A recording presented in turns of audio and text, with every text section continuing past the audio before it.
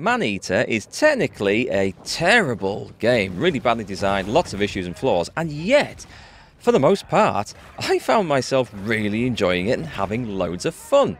So, would I recommend it to you guys? Well, folks, I've got to be honest, I am completely split on this. The game has had me going from crying with laughter to crying in pain as my hand goes into cramps from the insane button mashing spam, spam, spam of combat and a badly laid out control system. So I'm going to tell you what's good and bad about it, and I'm afraid you're going to have to make your own minds up from that. Maneater is basically a shark RPG or a shark 'em up, Grand Theft Shark. It's kind of hard to describe because it's more or less an original idea for a game. You play a man eating shark, hence the clever title. And that's just what you do. You swim around causing carnage, eating people and eating a lot of fish as well, unfortunately, which we'll get to in a minute. And yes, somehow they have actually managed to fit a story into this. You're a man eating shark, out for revenge on a shark hunter. It's kind of a cool story when it comes all together, but unfortunately, the game is let down with a lot of issues.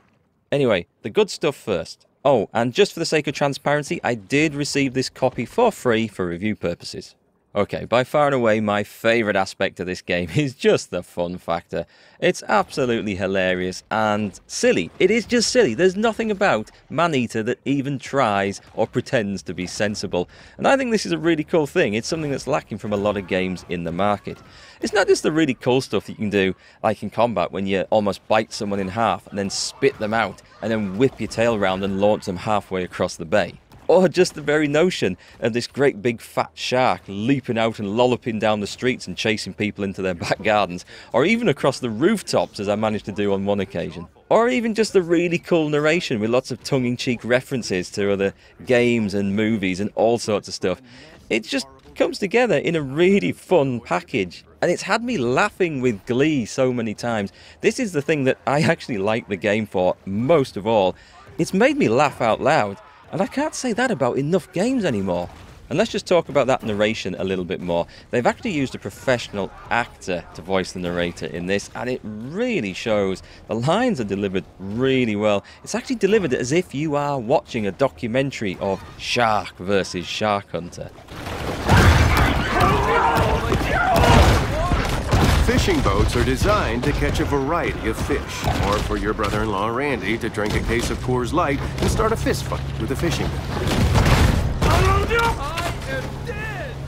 But the writing and delivery of the lines is just really good, and it makes you feel like you are either taking part in or watching one of those sort of mockumentaries that you've seen on telly. And not only that, but there's loads of cool references to games and movies to find when you're milling about in the ocean, exploring is sometimes a bit of a chore, but the reward when you find these landmarks in it is usually worth it. It's completely different to the frantic combat side of the game, which we'll talk about more in a moment. But you get these cool references, and I'm not going to spoil any of them for you whatsoever. There's Easter eggs in there relating to other games, other movies, and there's also this kind of background message in there about humans destroying the oceans and the planet. But it's not delivered to you in a preachy sort of a way. It's delivered to you in a very humorous way. And all this, I think, is really well done. So as you can probably see from some of the background footage I've got playing for you here, the combat is extremely fast and frantic. I mean, it really is good, especially when you're getting these hunter boats coming after you. There's not a moment's pause. You don't get a chance to take a breath. You don't get a chance to stop and think. It's just move, fight, bite, spin, dive, jump, attack, spin, avoid, dodge. It's really, really good. It's frantic. It's just non-stop until you get away from them all and you go and just chill out for a bit because you do need to. You need to chill out and rest in between the frantic combat sessions. But I actually really liked it. Uh, there's a downside to this that I will come on to later, however. But the combat is Another one of my favourite parts of the game. It just feels so good when you leap out of the water, pluck one of these shark hunters with his harpoon gun off the front of his boat, dive back in, and drag him down into the depths as you hear him gurgling and screaming as you slowly chomp on his innards. And I think, unfortunately, the only other good thing I can say about the game is that it feels pretty original to me. Yeah, they've borrowed aspects, you know, one like these semi-open world things where you have to go and collect and find stuff, and yeah, they've borrowed those ideas. But the actual bit about playing a shark, where you go around eating people, I have never come across a game quite like this. So yeah, let's let's say it's original. Give it a thumbs up for that. Sadly, however, the list of things I didn't like about Maneater probably outweigh the list of things that I did. And let's start off with the combat, and it's the controls. It's the damn controls. I used a controller to play this game. You can play it with mouse and keyboard, obviously on PC, but with a controller, god damn, was it just spam, spam, spam, spam, spam, button mash, button mash, button, button mash, and it was, it was, that was it. That was as intelligent and as tactical and strategic as the fights ever got. There are lots of different moves you can do, but the only one that really seemed to matter was the bite. Oh, and the lock on. Oh my god, there's no target lock on this. There's a temporary target lock, and on controller you have to tap the right thumbstick down but you've got to be fairly close to something, and as it moves out of a very, what seems like a very narrow cone in front of you, it loses target lock. So when you're swirling round and round and round something trying to fight it, you're constantly having to repress the target lock. You can't hold it down. No, you can't hold it down. You have to tap, tap, tap. It's like tap, bite, tap, bite, tap, bite, swirl, jump, dodge, tap, bite, tap, bite. And I'm not kidding you. At the end of a four hour stream, my hand was going into cramp and I was getting pain in the knuckles from the intensity of trying to hold the stick down all the time or press it down all the time and bite on the right trigger and do the other stuff. And it was just damn painful. And by the time I finished the game, it's not a long game either, maybe I think it took me about 12 15 hours. But even two weeks later, I'm still feeling the cramps in my knuckles from it and no tight fisted wanker jokes, please, in the comments. So that just could have been done a lot better. The whole control system could have been done an awful lot better.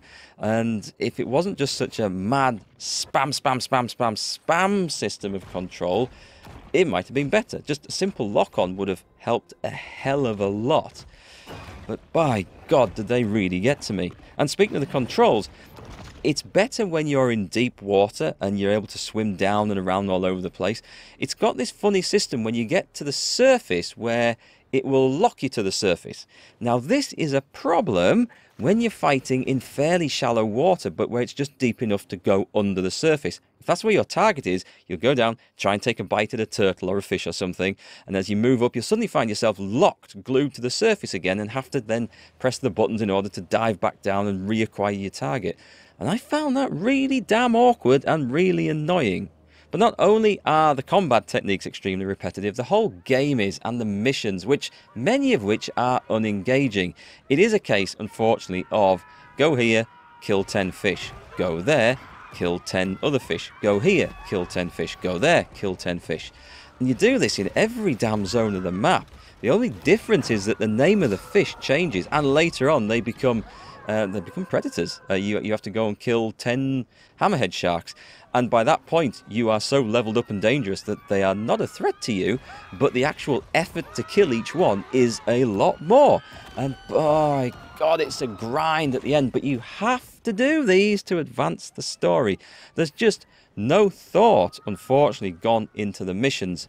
The ones we have to go and kill 10, 15, 20 humans, now they are repetitive, but they're a hell of a lot funnier and a lot more enjoyable. And I've got to say, as repetitive as, as those are, I didn't mind them as much because, you, well, come on, chomping humans down and slaughtering them is a lot funnier than eating fish, let's be honest. But there's even a problem with the eating of the humans, unfortunately, and that is that they don't do anything to escape.